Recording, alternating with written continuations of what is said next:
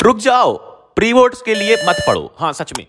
क्यों? सिर्फ़ इसलिए नहीं कि प्री बोर्ड्स के मार्क्स ऐड नहीं होते हैं बोर्ड एग्ज़ाम्स के रिज़ल्ट में, बल्कि इसलिए क्योंकि प्री बोर्ड्स तुम्हारे लिए ऑब्स्ट्रक्शन है, वो तुम्हारी हेल्प नहीं कर रहा है। कैसे? देखो, अगर तुम श्याम हो, जिसने सिलेबस कंप्लीट कर रखा है तो उसके लिए वो बूस्टर के तरीके काम करेगा। प्री बोर्ड्स में जाके वो ट्राई कर सकता है नई चीज़ें।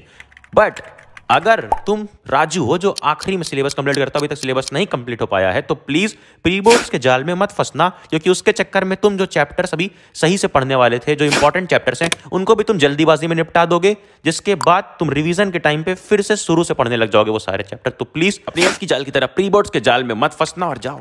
पिंड कमेंट चेक करो।